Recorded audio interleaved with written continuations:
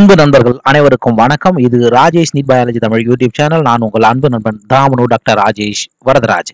நாளைக்கு ஞாயிற்றுக்கிழமை நீட் தேர்வு எழுதக்கூடிய மாணவர்களுக்கு ஒரு இறுதியான அப்டேட்னு கூட சொல்லிடலாம். என்ன அப்படின்னா ஏற்கனவே நம்ம வந்து இன்ஸ்ட்ரக்ஷன் கொடுத்துருப்பாங்க. நம்மளுடைய ஆல் டிக்கெட்டில் இன்ஸ்ட்ரக்ஷன் கம்ப்ளீட்டாக கொடுத்துருந்தாங்க. அதை எல்லாத்தையும் நம்ம போன வீடியோவில் பார்த்துருப்பீங்க. இதில் உங்களுடைய நேரத்தை நான் அதிகமாக எடுத்துக்கொள்ள விரும்பல. முக்கியமான இன்ஸ்ட்ரக்ஷன்ஸ் மறுபடியும் கொடுத்துருக்காங்க. அது என்னென்ன அப்படின்றத பார்க்கலாம். நமக்கு தெரியும் ஞாயிற்றுக்கிழமை நடைபெற இருக்கக்கூடிய அந்த நீட் தேர்வுக்கு என்ன சொல்லியிருக்காங்க அப்படின்னு பார்த்தீங்கன்னா ரெண்டு மணியிலிருந்து ஐந்து இருபது மணி வரையில நீட் தேர்வு நடக்கிறக்கு போகுது. என்னன்னு ரெண்டுல இருந்து ஐந்து இருபது. இது நமக்கு தெரிஞ்ச ஒன்று தான் என்ன சொல்லியிருக்காங்க? ஃபர்ஸ்ட் ஒன் பார்த்தீங்கன்னா அட்மிட் கார்டு நீங்க ஏற்கனவே டவுன்லோட் பண்ணியிருப்பீங்கப்பா அட்மிட் கார்டு ஆல்ரெடி எடுத்து வச்சிருப்பீங்க ஆல் டிக்கெட்டு ரெண்டு காப்பீஸ் எடுத்துட்டு போக சொல்றாங்க. சரிங்களா? அண்ட் இல்ல என்கிட்ட ஒன்று தான் இருக்குன்னா ஒன்றும் பிரச்சனை இல்லை.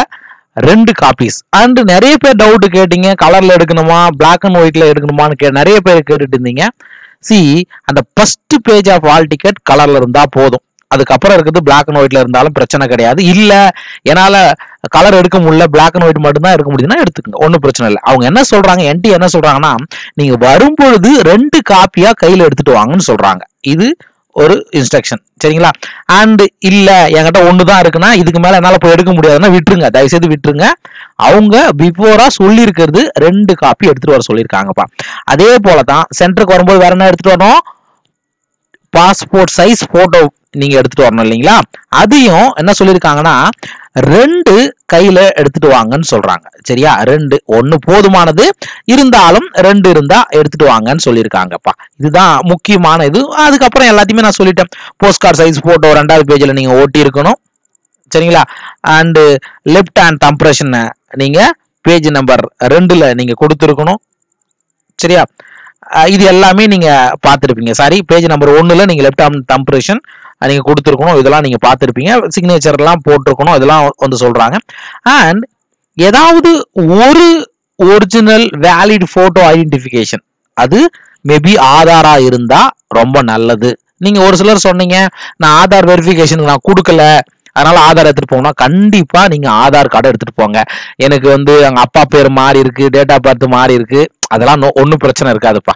சரியா? மோஸ்ட்லி ஆதார் கார்டை கையில் எடுத்துட்டு போங்க. அது இல்லைன்னா லைசன்ஸோ ஓட்டர் ஐடியோ அல்லது கரண்டா முடிச்ச டுவெல்த்தோடைய ஆல் டிக்கெட்டோ கூட நீங்கள் எடுத்துட்டு போகலாம்ப்பா. ஓகேவா இதுதான் முக்கியமானது அப்படின்னு சொல்லலாம். இதெல்லாம் நம்ம இதை பற்றி நான் டீட்டெயிலாக போன காணொலியிலே சொல்லிட்டேன். சரிங்களா? அண்ட் முக்கியமாக வேற என்ன நமக்கு பார்க்கணும்? ரெண்டாவது பேஜில் அவங்க என்ன கொடுத்துருக்காங்க அப்படின்னு பார்த்தீங்கன்னா எது இதெல்லாம் உள்ள அலோவ் பண்ணுவாங்க அப்படின்றத கொடுத்துருக்காங்க. அதை மட்டும் நீங்க பார்த்துக்கலாம். ஃபர்ஸ்ட் என்ன சொல்றாங்க? உங்களுக்கு வேணும்னா டிரான்ஸ்பரண்டான வாட்டர் பாட்டிலை எடுத்துட்டு போகலாம். ஃபர்ஸ்ட் ஒன் ரைட்டா அடுத்தது additional photograph same as uploaded on application form which you need to paste on attendance sheet சரியா? ஒரு பாஸ்போர்ட் சைஸ் ஃபோட்டோகிராஃபை கையில் எடுத்துகிட்டு போகணும். உங்களுக்கு வேணும்னா சானிடைசர் எடுத்துகிட்டு போகலாம். சரியா? அண்ட் அதுக்கு அடுத்தது admit card along with self declaration சரியா? போஸ்ட் கார்டு சைஸ் போட்டோகிராஃப் ஒட்டன அந்த பேஜோட சேர்த்து நீங்க அதை எடுத்துட்டு போகலாம்.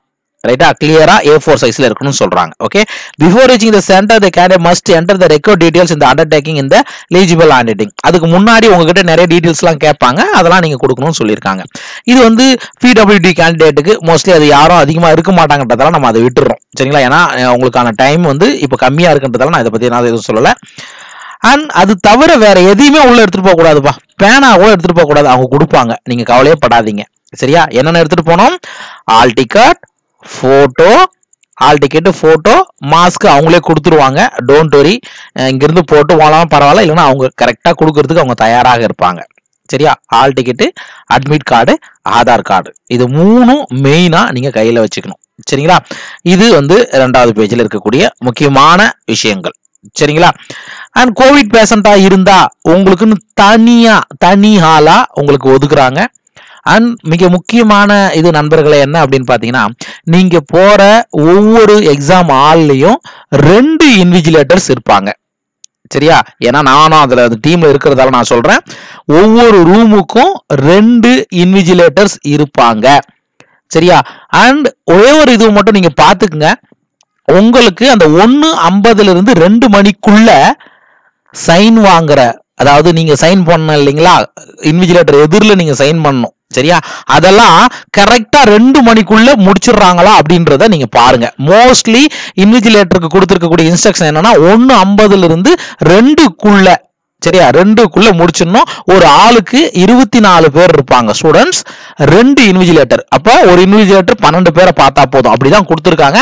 அப்போ அந்த பத்து நிமிஷத்துல நீங்க என்ன பண்ணலாம்? போட்டோக்கு மேல சைன் பண்றது நீங்க நீங்க இண்டிவிஜுவலா சைன் பண்றது எல்லாத்தையும் முடிச்சிருவாங்க. இன்விஜிலேட்டரும் அவரோட சைனை முடிச்சிருவாங்கப்பா. ஒரு ரூமுக்கு இருபத்தி நாலு பேர் தான் ரெண்டு இன்விஜிலேட்டர் இருப்பாங்க. அண்ட் முக்கியமா நீங்க இருக்கக்கூடிய ரூம் அண்டர் சிசிடிவி சர்வேலன்ஸ் தான். சரியா? சிசிடிவியால உங்களை கண்காணிச்சுக்கிட்டு தான் இருப்பாங்க. அதனால நீங்க எந்த விதமான எது செஞ்சாலும் அங்க ரெக்கார்டட் தான். ஓகேவா அப்போ ஒன்று ஐம்பதுலேருந்து ரெண்டுக்குள்ளே நீங்கள் என்ன பண்ணிடணும்? அதை முடிச்சிடணும். மோஸ்ட்லி இன்விஜிலேட்டர்ஸ் அதை முடிச்சிருவாங்கன்னு நினைக்கிறேன். அன்பு இன்விஜிலேட்டர் இது யாருன்னா அதை இந்த வீடியோ பார்த்துருந்தீங்கனாலும் தயவு செய்து ரெண்டு மணிக்குள்ள அவங்கக்கிட்ட கையெழுத்து வாங்குற அட்டனன்ஸ் கையெழுத்து வாங்குறது தம்ப் இம்ப்ரெஷன் எல்லாத்தையும் தயவு செய்து முடிச்சிருங்க அப்படின்றதான் முக்கியமான ஒன்று. ஏன்னா போன வருடம் மாதிரி இன்விஜிலேட்டர்ஸ் யாரும் டைம் எடுத்துக்க கூடாது அப்படின்றதுக்காக நான் இதை நான் சொல்லிடுறேன்.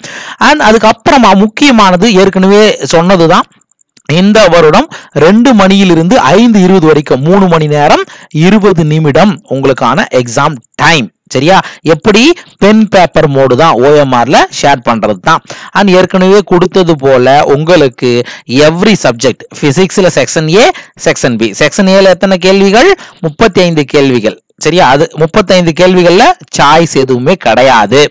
செக்ஷன் பில எத்தனை கேள்வி? பதினைந்து கேள்வி. இதுல பத்து கேள்விக்கு ஆன்சர் பண்ணா போதும். நீங்க தயவு செய்து பதினஞ்சுக்கும் ஆன்சர் பண்ணிட்டீங்கன்னா ஃபஸ்ட்டு பத்து மட்டும்தான் எடுத்துக்குவாங்க. அதனால அந்த தப்பை நீங்க பண்ணாதீங்க. சரிங்களா? அதே போலதான் கெமிஸ்ட்ரி பாட்னி ஜுவாலஜி எல்லாத்துக்குமே செக்ஷன் ஏல முப்பத்தஞ்சு செக்ஷன் பில பதினஞ்சு. அந்த பதினஞ்சுல மட்டும்தான் அஞ்சு கொஸ்டின் சாய்ஸ் மறந்துடாதீங்க மறந்துடாதீங்க. மறுபடியும் சொல்லக்கூடிய ஒரே விஷயம் நீங்க கொஸ்டினை படிச்ச உடனேயே இதுதான் ஆன்சரும் தெரிஞ்சுதா? தயவு செய்து அப்போதைக்கு நீங்க என்ன பண்ணிடுங்க? ஷேர் பண்ணிடுங்க. அப்புறமா நம்ம ஷேர் பண்ணலாம்னு நீங்க நினைச்சு கூட என்ன பண்ணக்கூடாது? விடக்கூடாது. ஏன்னா அது பெரிய கன்ஃபியூஷனுக்கு உருவாகும் சரியா? அண்ட் எப்பவும் போல தான் ஒரு கொஸ்டின் ரைட்டா எழுதுனீங்கன்னா நாலு மார்க் ஒரு கொஸ்டின் தப்பா எழுதுனீங்கன்னா நெகட்டிவ் மைனஸ் ஒரு மார்க் போயிடும். சரியா? ஞாபகம் வச்சுக்கோங்க. நெகட்டிவ் மார்க்கிங் உண்டு. அதனால என்ன சொல்றது? புத்திசாலித்தனமா நம்ம ஆன்சர் பண்றன்ற பேர்ல எல்லாத்தையும் ஷேட் ஆஃப் பண்ணி வச்சுட்டு வந்துடாதீங்க. தயவு செய்து அதை பார்த்துங்க. நெகட்டிவ் மார்க்கிங் உண்டு. சரியா?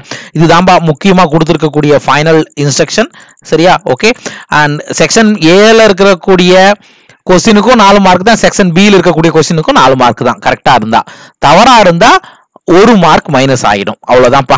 ஓகே இதுதான் ஃபைனல் இன்ஸ்ட்ரக்ஷன் மறுபடியும் சொல்றேன். மூணு முக்கியமா கையில் எடுத்துட்டு போயிடுங்கப்பா. ஒன்னு உங்களுடைய ஆதார் கார்டு ஆதார் கார்டு இல்லைன்னா ஸ்கூலோடைய என்னது? ஃபைனலாக எழுதின எக்ஸாமுடைய ஐடென்டி கார்டு எடுத்துகிட்டு போயிடுங்க. ஃபர்ஸ்ட் ஒன் ரெண்டாவது ஆல் டிக்கெட் சரியா? ரெண்டு காப்பி சொல்லியிருக்காங்கப்பா. சரியா? ஏன் எக்ஸ்ட்ரா எடுத்துட்டு போனீங்கன்னா வெளியிலேயே செக் பண்ணி உங்களுக்கு வெளியே அமுச்சு விட்டுருவாங்க. ஒன்றும் பிரச்சனை இல்லை ஒரு காப்பி நீங்கள் வெளியே கொடுத்துட்டு ஒன்றுத்த மட்டும் அவங்க கிட்ட கொடுத்துட்டு உள்ள அமிச்சா எடுத்துட்டு போனா போதும். சரிங்களா? அண்ட் முடிஞ்சா ரெண்டு ஃபோட்டோ எடுத்துருப்பாங்க ஒரு ஃபோட்டோ அப்போ ஒரு ஃபோட்டோ ஒரு ஆதார் கார்டு ஒரு அட்மிட் கார்டு இது மூணும் மேண்டேட்ரி மாஸ்க் அவங்களே கொடுத்துருவாங்க பேனா அவங்களே கொடுத்துருவாங்க. சரியா? சானிடைசர் வேணும்னா அவங்களுக்கே நீங்க யூஸ் பண்ணிக்கலாம். ஓகேவா இதுதான்ப்பா முக்கியமான இன்ஸ்ட்ரக்ஷன் தயவு செய்து இதெல்லாம் நீங்க ஃபாலோ பண்ணிக்கங்க. அண்ட் இன்று சரியா? நீங்க நாளைக்கு எக்ஸாம் ஹாலுக்கு போயிட்டு நீங்கள் இன்றைக்கி இதுக்கு மேலே அதாவது இந்த அந்த வீடியோ நான் பப்ளிஷ் பண்ணுற ஒரு ஒம்பது மணிக்குன்னு நினச்சிங்க. இதுக்கு மேலே எதையும் நீங்கள் படிக்காதீங்க. தயவு செய்து நான் நல்லா உறங்குங்க. சரியா? உறங்கிட்டு காலையில் உங்களால் ஏர்லியராக எந்த முடிஞ்சதுன்னா ஜஸ்ட்டு ஒரு ரிவிஷன் ஏதாவது டவுட்டுன்னு வந்ததுன்னா அதை மட்டும் பாருங்கள் அண்ட் எக்ஸாம் ஹாலில் போயிட்ட பிறகு கண்டிப்பாக உங்களுக்கு eleven thirty to one thirty வரைக்கும் தான் அலோடு பண்ணுவாங்க. ஒன் தேர்ட்டிக்கு மேலே ஒரு நிமிஷம் லேட்டாக போனீங்கனாலும் அலோவ் பண்ண மாட்டோம் முடிந்த வரையில் உங்கள் பேரண்ட்டை கூட்டு போகிறது நல்லது. முடிந்த வரையில் ஒயிட் கலர் ட்ரெஸ் இருந்தால் ரொம்ப நல்லது. சரியா? நான் ஏற்கனவே ட்ரெஸ் கோட்லாம் நான் ஆல்ரெடி சொல்லிட்டேன். ஒயிட் கலராக போட்டு போனீங்கன்னா பிரச்சனையே இருக்காது. எதுவாக இருந்தாலும் வெளியிலே செக்கிங் முடிச்சிருவாங்க. இன்விஜிலேட்டருக்கு ஒன்லி உங்களை பார்க்கக்கூடிய வேலை மட்டும்தான். ரெண்டு டு அஞ்சு இருபது வரைக்கும் அவங்க உங்களை டிஸ்டர்பே பண்ண மாட்டாங்க. சரியா? டிஸ்டர்பே பண்ணக்கூடாதுன்னு தான் இன்ஸ்ட்ரக்ஷனை கொடுத்துருக்காங்க இன்விஜிலேட்டர்களுக்கு சரியா? அதை நீங்கள் ஃபாலோ பண்ணிங்க அண்ட் மிக முக்கியமானது உங்களுடைய மனதை அமைதியாக வைத்து கொள்ளுங்க. எக்ஸாம் ஹாலில் முன்னாடி போயிட்டு அந்த பத்து நிமிஷத்தில் அதாவது ஒன்று ஐம்பதுலேருந்து ரெண்டு மணி வரைக்கும் அதுக்குள்ள என்ன பண்ணிடுங்க? உங்களுடைய சைன் போடுறது அட்டண்டன்ஸ் போடுறது எல்லாத்தையும் முடிச்சிருங்க கொஞ்ச நேரம் டைம் கிடைக்கா? மனசை ஒருமுகப்படுத்திக்கங்க. நீங்கள் வணங்கக்கூடிய தெய்வங்கள் சரியா? அதாவது இந்துவாக இருந்தால் உங்களுடைய குலதெய்வங்களை நீங்கள் வணங்கி கொள்ளுங்க. கிறிஸ்டியனாக இருந்தால் உங்களுடைய சாமியை நீங்கள் வணங்கி கொள்ளுங்க. அதே போல் முஸ்லீமாக இருந்தால் உங்களுடைய மத கடவுளை நீங்கள் என்ன பண்ணிக்கங்க? மனதில் வைத்துக்கொண்டு பெற்ற தாய் தகப்பர்களையும் மனதில் வைத்துக்கொண்டு நாம் இன்று எழுதக்கூடிய இந்த தேர்வு இந்த தேர்வு எனக்கானது மட்டுமல்லாமல் என் குடும்பத்தினுடைய எதிர்காலமும் இதில்தான் இருக்கிறது என்று மனதை ஒருமுகப்படுத்திக் கொள்ளுங்கள். சரியா? பி ரிலாக்ஸா இருந்து ஆரம்பிங்க. எப்பொழுது போல? முதலில் நீங்கள் ஆரம்பிக்க வேண்டியது உயிரியல் கேள்விகள் தான். அதாவது தாவரவியல் விலங்கியல். இது ரெண்டுத்துல ஏதாவது ஒன்றுத்தை சூஸ் பண்ணி முதல்ல ஆரம்பிங்க. அதுக்கு அடுத்ததா கெமிஸ்ட்ரி அது இறுதியா தான் இயற்பியலை போடுங்க. சரியா? ஆல் த பெஸ்ட் மாணவர்களே. சரியா? ஸோ இந்த நீட் தேர்வை ரெண்டாயிரத்தி இருபத்தி ரெண்டு நீட் தேர்வு எழுதக்கூடிய அனைத்து மாணவர்களுக்கும் நம்ம யூடியூப் சேனல் சார்ந்த மாணவர்களாக இருந்தாலும் சரி அனைத்து மாணவ நெஞ்சங்களுக்கும் Rajesh NEET biology Tamil YouTube channel வாயிலாக நெஞ்சார்ந்த வாழ்த்துக்களை தெரிவித்துக் கொள்கின்றேன். நீங்களை உங்களை நான் அடுத்த காணொலி அதாவது இதுக்கப்புறம் நம்ம ஆன்சர் கீ இது எல்லாத்தையுமே நம்ம பண்ண போகிறோம் ரிசல்ட் வரும்போது நான் உங்களை டாக்டராகத்தான் பார்க்கணும் சரியா? அந்த இந்த ஒரு வாய்ப்பை நீங்கள் பயன்படுத்திக்கிட்டு உங்களுடைய எதிர்காலத்தை கட்டமைக்கணும் அப்படின்றது சொல்லி இந்த காணொலியிலிருந்து உங்களிடமிருந்து விடைபெற்றுக் கொள்வது நான் உங்கள் அன்பு நண்பன் Thamanur doctor Rajesh Varadaraj. Rajesh NEET biology Tamil YouTube சேனலில் இருந்து. All the best to every students thank you thank you thank you very much